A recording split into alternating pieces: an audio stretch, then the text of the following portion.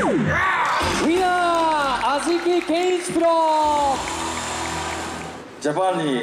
参戦させていただいて、えー僕は名古屋でしか勝つことができなかったです、えー嫁さんが北海道函館出身だったんで絶対この北海道で勝ちたいなと思ってたんですごく嬉しいです。すいませ